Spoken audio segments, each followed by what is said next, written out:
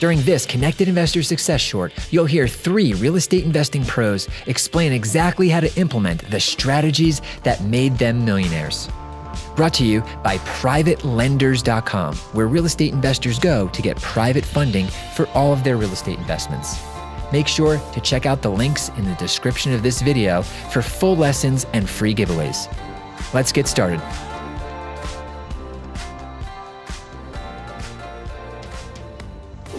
Name is Greg Rand, and today he's going to explain exactly how to pick winning real estate markets.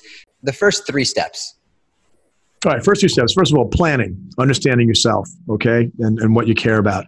Number two is identifying the where, okay, focusing on those shape, shifting plates of earth in the market. And then once you identify the market, you like going deep and finding the assets that fit your, uh, your personal uh, style. So, do you have any recommendations of top cities that you're seeing people have success in, or, th- cities you might think uh, are going to be very fruitful in the not so distant future? Yeah, I do actually. Um, I've been asked recently um, in the last year to identify what are the next big SFR cities, single family rental cities. And, you know, we know the ones that were the part of the big first wave. And it was very interesting to approach that because we started noticing similarities, qualitative similarities of the trends in a city and then quantitative similarities with the way those cities were 15 years ago. So, like, what's the next Dallas? My answer to that is Oklahoma City. Okay, a lot of the market fundamentals, Oklahoma City looks a lot like and behaves a lot like Dallas 20, 25 years ago. Okay, same economic drivers, same industries, and now it's starting to look real attractive. A lot of people that can't afford Dallas are going to Oak City. Same thing. What's the next uh, Nashville? Chattanooga is the next Nashville. What's the next Denver? Colorado Springs right? What's the next Charlotte or Atlanta? Maybe Columbia, right? So within striking distance, same migration fundamentals, and just reason, it's like it's like the next generation of the same city. You know, yeah. the grandchild of the same city. What is and you start to start to get a comfort level that hey, this does look familiar. I'm in a time warp right now. I can see where I think the city's going to go, and you can load up on that city. Wow, this this whole theme is tying right back into daydreaming. I love it. Yeah, it really is, isn't it? I love it. And you guys get to daydream on what you want to do with all of that residual money that's going to come in once you have True. these properties out there and you're able to, uh, you know, transfer these assets to your to your children and make their lives better. That's why it's it's so important that you're, uh, you know, attending these these podcasts to learn these these little tips and tricks that that echo for generations.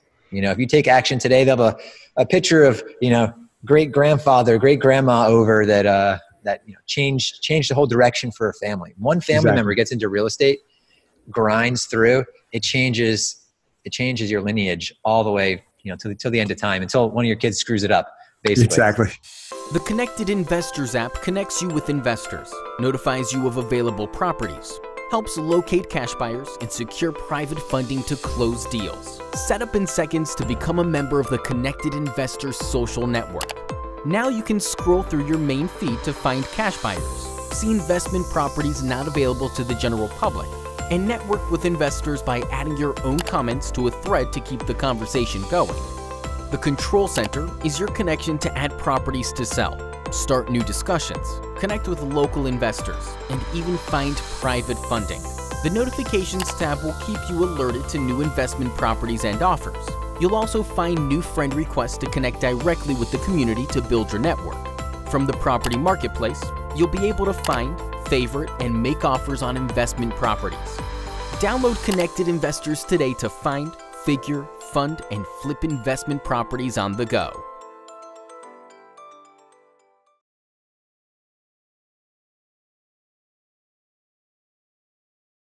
His name is Mark Dudley. I'd like to introduce you to him. Mark, thank you so very much for jumping on the line here. Thanks for having me, Ross. It's great to be here. Well, today we're going to show exactly how anyone can use Facebook and Google to attract whatever they want for their business. We're going to talk a lot about real estate investing and motivated sellers because that's really what uh, our members at connectedinvestors.com are looking for. But the tactics and the strategies that we're going to cover on this episode of Exactly How translate to absolutely any business. Mark, take me through just the high level steps of retargeting. Yeah, absolutely. Um, I'll kind of break it down into to four steps. So, first one, get your website. That's what you need. Second one, you need uh, you need a, the platform that you're going to throw these ads up on. So that could be Facebook, could be Google. There's a couple other smaller ones out there, but those are the two biggest ones. So if you go to your Facebook account, everyone has an advertising uh, account. You just have to find it there. It's not too hard. So get that set up. That's step two. Uh, step three is get the pixel set up on your site. Um, and that's pretty easy to do. Um, uh, either I, I, can make a video or uh, I'm sure Ross has one that we can find. Watch a video, get this, get your pixel up there on your site. Uh, and then third or the fourth step is to uh, you need to create the ads. So you're going to create some sort of ad that you want people to see. And that's the four basic steps. That's it. Um, any any other anything else you want to add? I know you can go on for hours and hours. So sometimes we sit down and do go on for hours or hours. But I just any more you know nuggets of information someone might want to consider. Yeah, I do want to say this. So when you get your ad going, get it all set up. Um, make sure you set your audience. You want to make sure that you are targeting the audience you want to set, whether it be the list that you upload or the people you've pixeled on your site. Um, a common mistake that I have seen is people will set their ads, they don't put uh, an audience in there, and then they're just showing their ads to all of Facebook, you know, all of all of Google. So so that that's going to be a, a bit of a waste of your money. So make sure you set the audience you want to set it to. You contributed a lot of your success in paid ads to your, you know, natural curiosity. Why do you think it's so important to be? Uh, why do you think curiosity is so important to success? you should always be learning. There's there's so much out there to learn. Uh, you know, if you're sitting in front of your TV watching Netflix or something like that, uh, whenever I'm doing that, I feel like I'm wasting my time, and I could be out there learning something. Uh, learn about anything and everything. That's the best way to live life. You can, uh, you know, I've learned about man fixing up my house or flying a hot air balloon, whatever. learn about anything and everything. That's the best way to live life.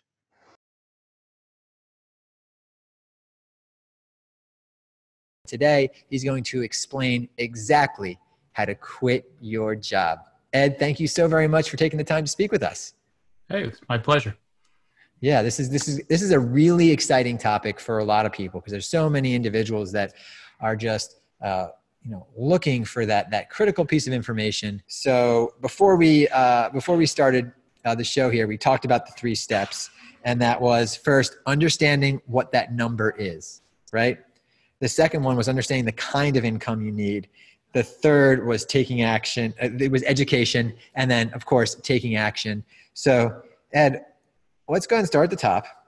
How do we figure out what the number is? How much we need to be able to successfully say bye bye to our boss and get into real estate full time? Okay, I got to kind of relate it a little bit to my own situation and Perfect. how how I did it. it. It's not how much money you make, but it's how much you really need. And I find that most people have no idea where their money goes. They might know what their mortgage mortgage expense is or their rent, but that's about as far as they really know where their money goes. So you need to find out exactly what your expenses are per month. And there are needs and then of course there's wants. But if we start with the needs, figure out what that number is. If you could replace that number, then you don't have to work anymore. Now, Ed, you talked about the type of income. Step being step number two being figuring out what type of income you need. Can you walk us through the different types of real estate income? Well, you have um, like a linear income, for example, would be exchanging time for money. But in essence, flipping houses is a linear income. Residual income could come from obviously rents, but it could come from notes, it could come from royalties, uh, things that provide a certain amount of money every month, regardless if you're working or not. And then the, the last one is leveraging that residual, obviously, by have more units, either multifamilies or mobile home parks or anything that gives you more than just one. We talked about what your number is, the kind of income you want, and now the, the education. So someone's like, great, this is this is what I want to do. It's time to start learning. Right. Well, you know, we webinars are great, but it's it's kind of like a big overview. Um, you can get ideas and get some really good points from the webinars, but I like the books or something that I can make notes in. So let's say let's say someone's on this podcast and like, you know what, I'm I'm I'm sick of this. I'm I'm ready to do it. Well, how long realistically, if someone hit the ground running, do you think it would take someone to be able to build up? Let's just call it forty forty thousand dollars in uh, in income a year through through real estate, starting off brand new, never not having anything except the willingness to work hard. Well, I, I bought 12 condos the first year that I did it. And you know, maybe that's exceptional. I don't know, but I had a pretty strong reason why. and I was really determined to make it happen. I, I think you could, I think you can do it in a year or two without um, really being exaggerating. Can also throw your name into a drawing to win our $3,000 software called PIN that pinpoints all of the best deals in any market and all of the uh, most active buyers and private lenders as well. So it's the one piece of software you need to find any type of deal, whether it's an apartment complex or a single family house. If you're looking for it, it's inside PIN. And we're going to give it to one of our lucky listeners who visit exactlyhow.com. If you're watching this live, go ahead and jump, go there right now. We haven't picked the name yet. Throw your name into the hat and you might be walking away with this software.